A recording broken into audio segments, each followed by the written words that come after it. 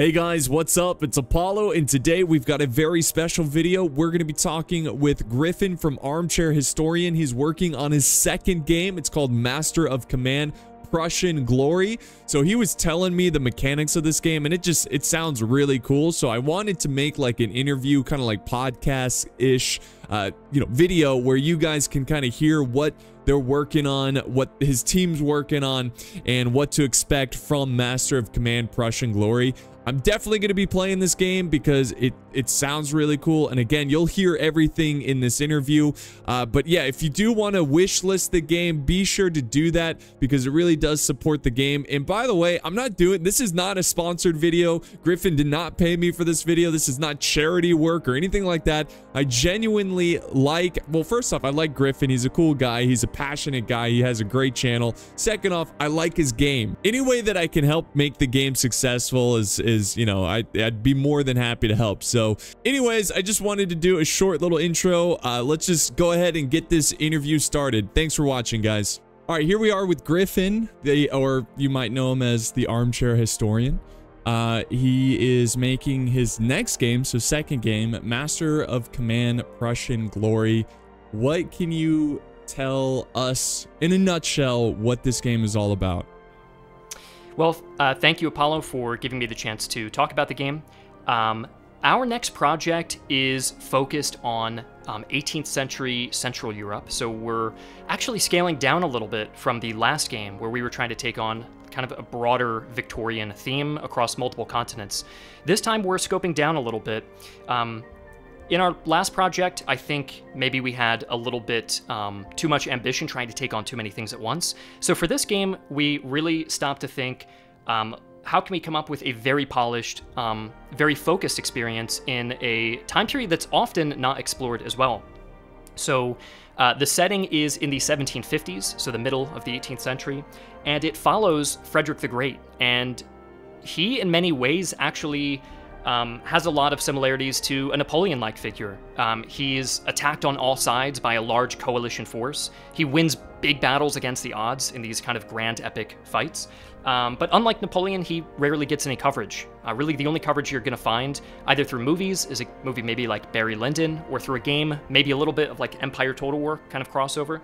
Um, but both of those are very old, and uh, it seems like um, nowadays that kind of setting isn't being covered too much. So I figured this was a great opportunity. Um, it's something new, it's something refreshing. And like I said with Fire Maneuver, we try to bite off a little bit more than we can chew. And this time, I think we're a lot more wiser and we're kind of focusing in a much smaller area um, in order to come up with a very refined um, gameplay system and very refined content.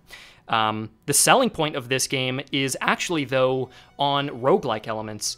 And unlike many historical strategy games, and in fact, I don't think I could name a single historical strategy game that takes on the roguelike genre, um, we're letting this uh, we're letting the player fight their version of the Seven Years' War different every single time they play.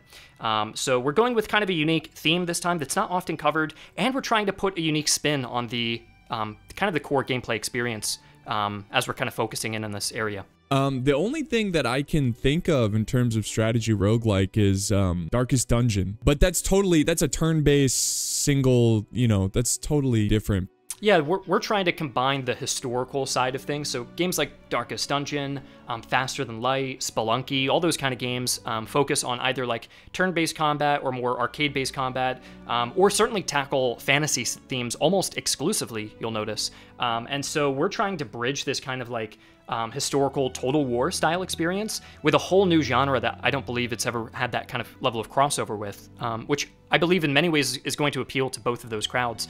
If you're a fan of um, Total War battles and that real time, exciting um, kind of like army management and fighting these large epic battles in a unique his, um, historical theme, and if you like just really smart gameplay systems um, that uh, you know the gameplay loop is very clearly defined, then I think both of those kind of crowds are, are going to enjoy it. No, I agree. I what I so that this actually I was really when you were showing me your your game, I was actually I was like, wow, this is a great idea, this rogue element because it kind of cuts the fat of a hefty campaign where you know where people usually like in a total war campaign, you're almost like god, you know, like you're telling what to build, you're managing cities. This, you're a general and you've been basically you've been told to achieve a mission, take a territory.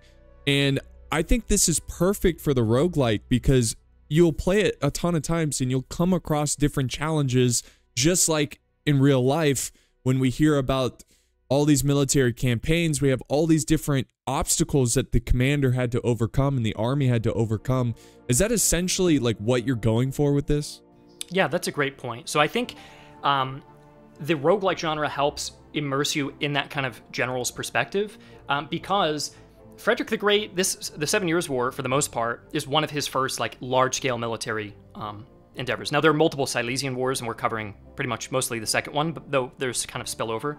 Um, but as a general, um, he's not rehearsing his battles over and over again. When you play um, other historical games, you might be rehearsing certain historical scenarios or trying to reuse historical tactics. And there is fun to that, um, especially games like Ultimate General or Total where they have those historical battles. You can go to those famous sites.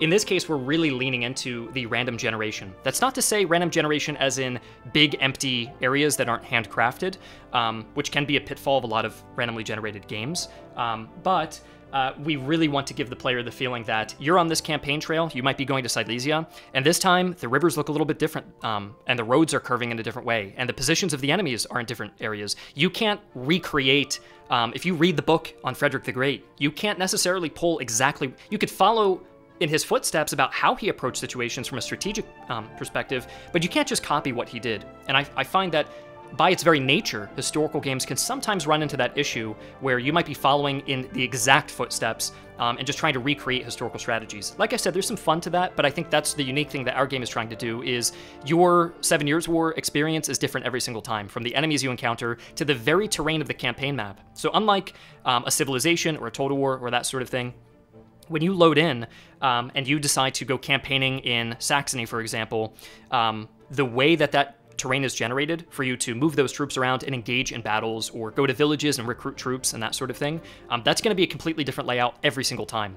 Um, and so you need to um, adapt and you have to improvise every single time. Uh, there's no relying on routines or, you know, for example, I'll, I'll, fire up a strategy game and I'll do my 10th playthrough as the same country and I'm following those same kind of. And again, there is fun to it because you can refine that playthrough and you've got it down to be a perfectionist. But the one issue I have that I believe we're solving in some ways um, is the diff- difficulty curve in a lot of nation building games, which are fun. I love those games. Um, is that at the very start you have maybe one province or one territory, so the difficulty is very high from the very start. And you might be new at this game as well. However, once you start conquering and you get bigger and more experienced, the game actually gets easier. So it's a little bit um, inverted than what you'd think. You would imagine as you get more experienced and you've got a bigger, um, better control over the game, you'd get bigger and bigger challenges. But think of how many strategy games you've played where once you've got that snowball going, once your country is large enough, once the empire is built massively, what's to stop you? And in fact, you might be quitting or ending most of those games out of boredom, not because of a great challenge. I believe in our game, again, the scope is smaller, so we're not trying to sell you on something so large and so grandiose, a big open world. Um, we're not going to overpromise and underdeliver that sort of open experience. Um, maybe one day, if we continue making games, and that's something I would love to do. But for this kind of project, we really wanted to dial in the scope and come up with a really fun gameplay loop. The loop and the difficulty curve, and your engagement as a player is essential. Um, often people can overlook, they're just thinking, oh, the historical theme on its own will sell the game. But for us, the historical theme is one thing, but also really keeping you engaged and having a really tight gameplay loop and wanting you to keep building your army to encounter bigger and bigger challenges. You know, why is it the case that in arcade games, um, or really any other genre, you have boss battles. You have something to perfect, like a Dark Souls, where you approach this impossible enemy. You might have to try it a few times to go um, to beat it. But in historical games, often the boss is your early difficult start as you build up your empire, and at that point, the challenges kind of fade away. Um, and in our game, every time you go to conquer a region, the next region's harder. There's more enemies. They're they're more difficult. All the while you are managing logistics, ammunition, the troops under your command. As you mentioned, we really want to immerse the player as a general, so all of the mechanics have been built around being a general. Um, and we can get into this a little bit later, but managing your army, customizing your troops, recruiting new men, equipping them with individual items, not just muskets or bayonets, but even the very cartridge pouch that a, a regiment is equipped with, that's all under your control. You, as a general, are um, being put essentially in the situation that a Frederick the Great would, where you have to manage your divisional officers and your troops, and are you keeping them uh, fed and equipped? Um, those are questions often not uh, brought up in historical strategy games, where it's often build a stack of troops, throw them in. If you lose them, it doesn't matter, raise another stack. In our game, you have this one army, and for those who are unfamiliar with the roguelike genre, the, there are two things that make a game a roguelike. Some people debate it, but the two most essential things are permanent death and random generation. Those are two fundamental parts of our game, which again are often explored in uh, historical games. In a historical game, you can throw an army out, it gets killed, it doesn't matter. And also in historical games, you can go conquer the same region a hundred times, it'll look mostly the same, and it'll feel mostly the same. So we're trying to solve those two, what I find to be deficiencies in some cases, for how historical games approach um, that kind of gameplay loop and that kind of theme. So that's kind of our unique spin on the gameplay. Uh, and like I said, we're not trying to overpromise this giant open world. Maybe one day we can get to that kind of scale, but we're really trying to give a player a memorable um, and interesting experience that's unique, just, just not something you've really ever experienced in a historical strategy game. Yeah, and I don't think large scale equals amazing all the time. So it's nice to to see a more detailed small scale event. What I want to hear a little bit of cuz a lot of a roguelike there's a lot of balancing. There's a balance of taking a certain path that might get you some good gear but it's going to take you more time, which makes the enemy stronger.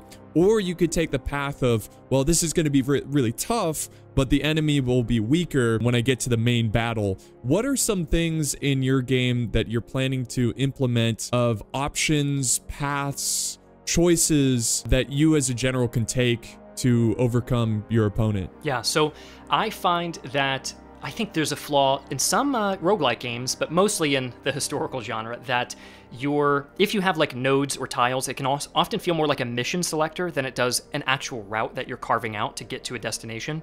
We really want to lean into that, where you're building a trail essentially to get to an enemy force. How the game works is once you select a region to begin campaigning in as a general, um, and that map generates, you've got an enemy headquarters positioned somewhere on that map and that's for you to go and meet the enemy in a large pitch battle. That's going to be your big climactic boss battle, so to speak, where the enemies can be the hardest and the biggest you've seen at, up to that point. Um, so, so everything you're doing on that campaign trail is in preparation. It's all in, in anticipation for that battle.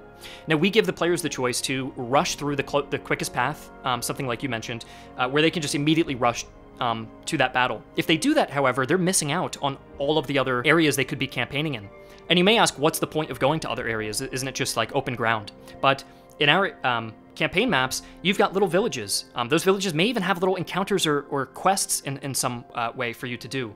Um, there may be an encounter that says, uh, hey, there's a small enemy force up ahead. If you pay us off, we can go distract them and you've got a whole new path open for you to move through. So those are kind of, again, I, I want the player to feel like they're improvising. There's um, I think it was Moltke who said, uh, no plan survives its first encounter. So if you plan this nice elaborate path to go through on that campaign map, but you start, um, maybe you stumble on an enemy supply depot, or maybe an event pops up and it halts your path, or maybe you find an enemy position holding a bridge and you don't want to do a river crossing battle. All of that terrain, all of those kind of encounters will play a role. So it's not just a glorified mission selector. That's not what this, uh, that's not what our campaign map will look like. The terrain you cross through, you could even try to cross through mountains. If you do that, that enemy headquarters, which you're after, is going to actually slow its growth rate. Just to give you some further context, context, the longer you're campaigning, that enemy headquarters is building up because they see that you're there. They're they're building up their forces too. So it's also about kind of concealment. If you cut through a forest, think of like Hannibal. He's Hannibal's moving through um, the mountains and descending um, into Italy uh, from a path they thought impossible, and getting the surprise on on the enemy headquarters and fighting the Romans in a pitch battle, um, or uh, taking out villages and taking them completely by surprise. So those are kind of strategies you can. These aren't programmed in. These aren't um, specific events you have to follow. These are natural things you can do as a player. If you decide that you need to take a shortcut, or you need, or you decide there's a large mountain pass and you have extra supplies, you have extra provisions to get through that difficult journey, you could decide to cut through that path. You might be missing out on other certain encounters, um, but it may take you to that enemy camp before they're even able to build up. They lost track of you, so they stopped reinforcing. So the way, the pacing you move on this map, the the areas that you visit, the terrain that you encounter, um, all of these things matter. And again, all of the mechanics serve to make you feel like a general on that map. I don't want a glorified mission selector. I don't want a glorified map painter. That's not what we're setting out to do. I wanted to take the design of this game all the way to the beginning and not use all my preconceptions of what a historical strategy game has to be.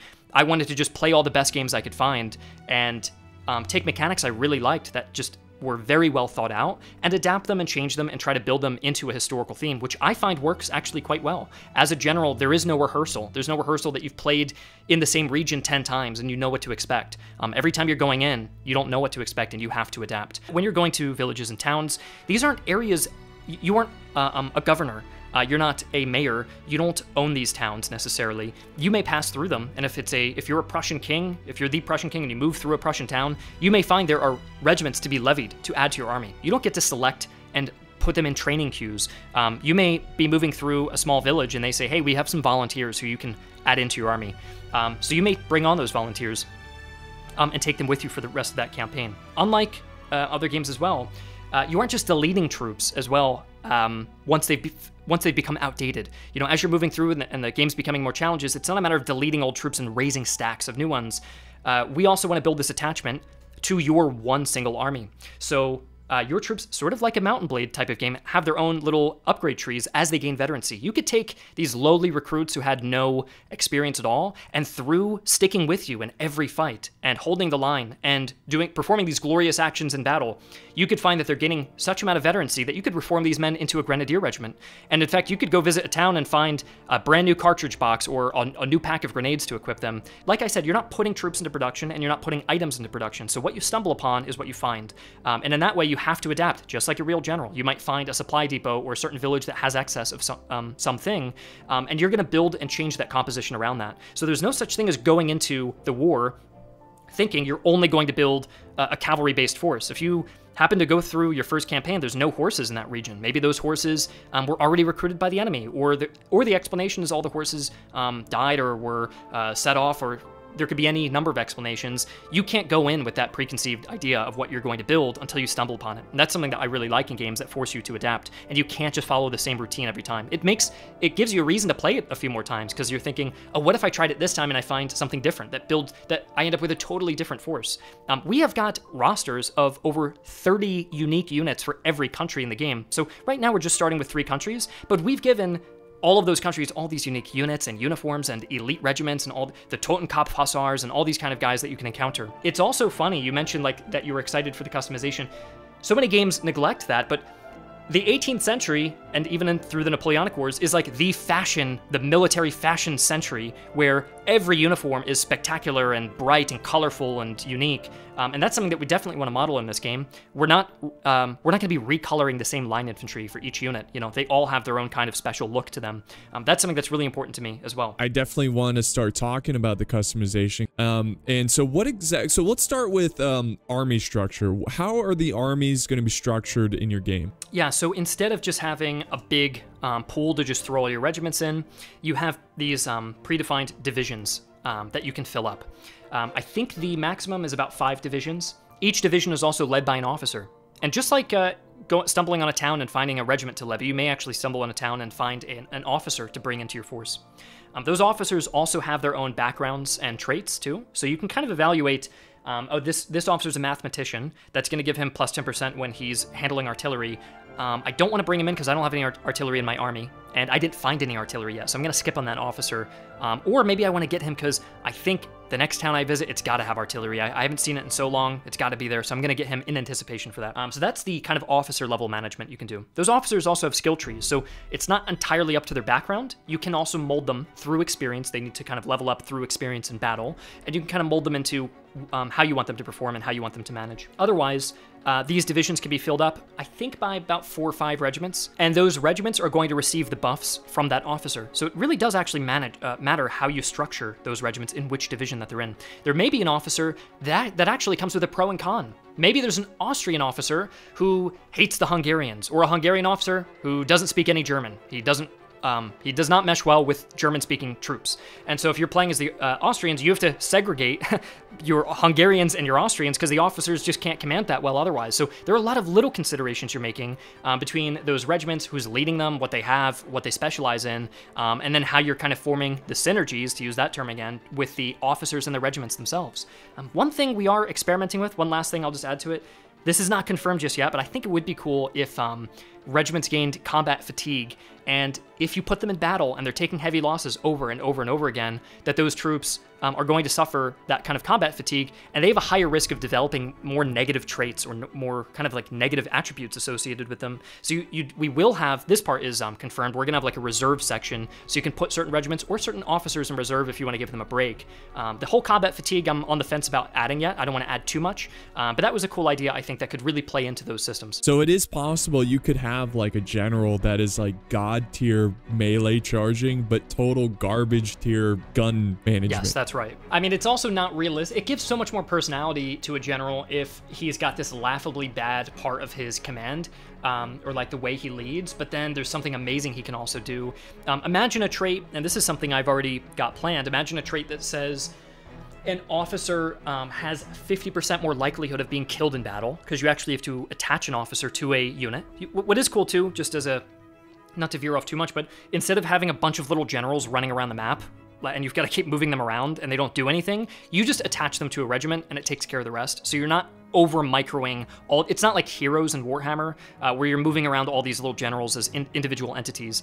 Um, instead, we just stick them with the regiments. If those regiments are in the front line of combat, or let's say you have a cavalry division and the officer leading the cavalry is in the front of that charge, cannonball comes in, wipes the officer out everybody in that area could be devastated that they just lost their officer. But imagine a or trait happy. that says, "Yeah, that's true."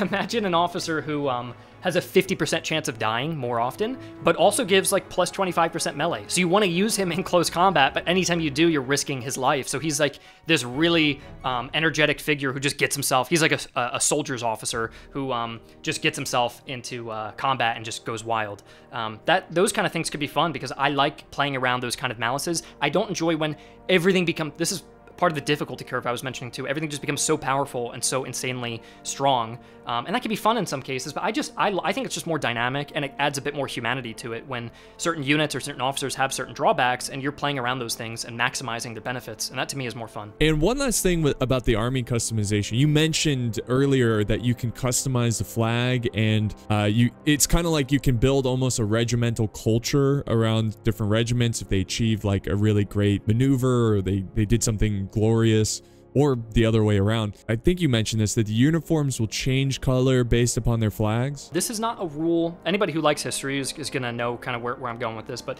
this is not a rule um, uh, in all militaries at the time, although we're making it a rule just because it's fun. Um, but typically, your regiment, you carry two flags into battle, sometimes more, sometimes less. Again, it depends on the country, but you typically have like your king's color, so it's like more of the national flag, or more something that every regiment is going to carry. And then you have your regimental flag, um, and that's specific to that regiment. Um, and those regimental flags, um, the British Army is a great example. You'll notice they have all these different colors in use, and that color almost always pertains to the facings, which are the cuffs and the collars on the uniforms of those men. Um, in the case of the Prussian army, you have uh, troops wearing literally pink collars and cuffs. Um, Austria did it too. Um, I don't believe the Russians did. I don't believe the Russians changed their, their um, facings until the Napoleonic Wars, but we're still we're still going to do it just because I think it's fun. Um, if you want to play historically, though, then just make all of the um, facing colors red, keep them red, and, and, you can play. So I think what is cool about it is you can play ahistoric or you can play historically. That is cool. Um, but yeah, if you edit um, that regimental flag, um, it just edits the facing. So I do not want to allow the player to like go in with a pink jacket or like a um, like they're all their troops are goth looking. They've got all these black jackets on or something, you know. Um, so the jacket colors will be predefined. They've got to stay the way they are. Um, of course, we have these predefined regiment types that you can hire, um, but those little collars and cuffs, the little details, will get altered based on the um, the secondary flag color that you choose. You can choose a primary. Uh, you've got two colors you can choose: a primary and a secondary color on the flag. The secondary is going to determine the facings. The primary um, is just for looks, and then you also have the style. So you'll you'll notice a lot of Prussian or um, Russian or Austrian regimental flags. Even the Austrian specifically had a Hungarian style and an Austrian style um, or German style uh, flag pattern. So you can alter those patterns however you want, and I think that's pretty cool too. So it's you can create your own organizational systems, which is nice. Even flags to you could represent certain things. If you want to remember your melee troops, just give them a red um, secondary color on their flags, and now when you eyeball the map, you can just tell where your melee troops are. So that's kind of fun. You can create your own um, like color coding if you want to, or just make it rainbow, or keep it all uniform. Anything you you really want to do. Okay, so I know uh, we've been talking for a while, and I think the big concern or the big interest here that a lot of people are going to have are battles. How exactly are you going to approach battles? Because I know in your first game it was turn-based. This one you want to make it real time, correct? Yep. So we've started from scratch on this project. um, which has pros and cons to it. I think there are more pros though. This project, we said, you know what? Let's start with a clean slate. The battle system, I can't tell, I can't talk to you too much about it yet because um, one thing I was saying um, in another conversation was just that the campaign mechanic, the campaign is just built off of mechanics. Um, you have interesting um, mechanics you are interacting with, and that's what makes the, uh, the campaign special. The battle system, you don't want a ton of, you don't want like all these drop down menus and a bunch of little stuff. You just want to feel it out. You want to feel like your volleys are punchy and your artillery is doing something. Um, those are kind of things that shape up as the game um, develops further. That we just feel out. I think that's that's honestly the best thing you can do. You don't want to overplan a battle system. You want it to feel. That's kind of why we're choosing the the uh, real-time free-form movement. We want it to just feel it out and make it feel good and punchy and that regiments feel responsive. One thing I will say is something, um, a mindset that I'm going into is I like realistic battles, I like longer battles, but I also don't like when realism is taken to such an extreme that it makes things more frustrating than they are fun. So my thing is find, push realism as hard as you can, at which point um, or, or, to a point that it does not hurt the fun factor of the game. So I like when battles last a little longer. I like when, so something that we've implemented is fatigue rates. Guys will get more fatigued and they will get more tired and just be less efficient. So you may actually want to pull guys off the front line and replace them with reserves. But if there are, if fatigue got so important, if fatigue kept going down all the time, and uh, we had a little button for you to drink your canteens, all these little details, you know, you don't want to add so many mechanics, you just want it to feel good. So we're just trying to find that balance right now between I want something that feels impactful, I want battles to feel exciting and unique in some ways, but I don't want to overload it with all these little um, choices that you have to make. Um, there are some unique things that I will just speak on, like for example, those officers I mentioned, they can get active abilities that help rally troops around them or inspire them or maybe intimidate the enemy. These are things you might be familiar with with Total War games, uh, but you've got all these different officers that you can kind of customize, which is fun. Otherwise, uh, besides that, uh, some other buttons that we're including are um, dedicated formation buttons. So something I don't think in any of these linear warfare games. Maybe Grand Tactician has this, um, but you can form, you can decide to actually form columns or form lines or form square or any, um, or even uh, open order formations. You can spread troops out, um, and you'll see them perform those drills in real time, and they have their own pros and cons. Um, so it is cool. I like. I always role play when I play Total War and got, move guys in columns because I think it looks cooler. Well, we'll actually make that do something. You know, it's a, it's a, um, it wastes less fatigue and it's easier to maneuver troops around if you move them in columns. So you may deploy troops in more agile formations and then form your battle lines. Um, and then I'll actually touch a bit about, about um, how that relates to our AI. Um, so the AI we're working on, we have a developer who's almost his entire job is AI, which is really cool. Um, he is working on our map editor system, which is not going to be public, but we're building it in such a way that it could be one day, which is cool. The Fire Maneuver map editor was never meant to be built into a public system. There are a lot of uh, foundational things in that game that we just couldn't build on, unfortunately. So this one, again, with that clean slate comes all those benefits of like, hey, if we build a map editor this time, let's build it so eventually we could make its own software, people can build their own battlefields. Um, that may come after this game or who knows, but at least it's being built with that in mind. Um, same thing for modding. We're not going to launch with it, but things are now set up with a foundation that it could happen. Something that we've just accomplished that I really like is our AI developer was showing us um, our AI's got this nice little Terminator vision where it's kind of like it's drawing lines in real time. It's drawing, it's recognizing where the units are, it's grouping them. So it might see that you're clustering cavalry in one particular area. It's going to draw um, its own dynamic lines in real time to that, and then it's going to um, immediately perform a, um, a strength evaluation of those troops within that grouping, and then try to respond with something that is equal or greater than um, that force that you have. And because there are lines drawn around that group, it knows exactly where it should form up in a battle line. So something massively that you'll notice in like a lot of old linear warfare games that you've played is the enemies never forming battle lines. They're always grouping up, or I'll find sometimes they form the battle line, one guy uh, shifts a little bit, everybody down the line starts shifting, and then they all start running forward and they just collide into a big melee, and that's not good. So when the AI it achieves multiple things, the AI can actually determine your strength, if you're flanking, what you're going to do, if it needs to move some guys over because it sees. How many times have you played a Total War game, and the first thing you do is you grab the cavalry, move it around, distract the enemy, charge their artillery, and the can cannons are gone every single battle you play. Well, this time they can see what you're doing. They can try to detach one of their own pieces and form those lines necessary to meet that. Um, so that's really exciting. AI is like we don't have a campaign AI necessarily, right? Because you don't have diplomacy, you don't have big countries, we don't have a big open world. And this might seem like a bad thing at first, but if we've got all if we've got months and months worth of AI developing time that would have been spent there, it can now be put on the battle system. And if the campaign system can run without needing complex AI and still offer a really meaningful challenge and have engaging mechanics, the battle AI can um, shine as a result of that. For the first time, you know, compared to our last game, we're actually ahead of schedule in like all of our ways, and we're basically producing this game at two times the speed and half the cost. Um, and that's not because we're cutting corners. We're just so much smarter about how we're approaching it. So I'm just really excited with uh, how things are going. And because we started from scratch, all those new foundations that we can build um, from everything we learned from our previous game. So uh, I'm, I'm really happy about that. Well, this this is all really exciting. I'm I'm honestly really impressed with with your ideas here with this game. I think it's unique. I think it's interesting, and I, I really cannot wait to, to give it a try. Um, for anyone, uh, for the viewers, if, if if there's any way they can follow the, the development or support in any way. So the biggest way to assist is the um, uh, wish listing the Steam page. It doesn't cost anything to do that if you just have a Steam account and wish list it, and that helps a ton because Steam pushes things. It's kind of like hitting the like button and, and, subscribing or that sort of thing. It just pushes it out to the algorithm, but even more on Steam because those wish lists are going to give out notifications, and the more wish lists there are, the more it's going to feature it, and then it's going to get even more. So that's super, super helpful, and it's completely free to do. The other way, if you want to more directly support us, is we have a Patreon page. I'm not going to push it too hard. Um, we have everything funded. Uh, we still have some residuals from our last game coming in, um, so we're not under like huge constraints financially. But if you want to support the game, all of that money goes straight into the development. We could possibly add even more um, if we can get enough um, support there. Um, and anybody who's paying for those higher tiers are just going to get a key to the game as well. Um, and some of them will even be able to play early as well. Uh, so that's cool. I think I am. I can't confirm this yet, but I think I am planning for that highest tier to even get access to our development server. And you can just ask me questions, or you know, when I'm there in, in the workday, you can maybe like just write something in I think that would be cool. So we're building a community too. We have a public Discord, um, which you can join uh, as well. And I'll probably send you some of these links and uh, people can check it out if they want to. Yeah, I'll have all links in the video description. So if you guys, again, biggest thing you can do, guys, and it's totally free, is hit the wish, uh, the wish list because that uh, honestly, that is huge. I hear this all the time for from indie developers. That is huge on Steam.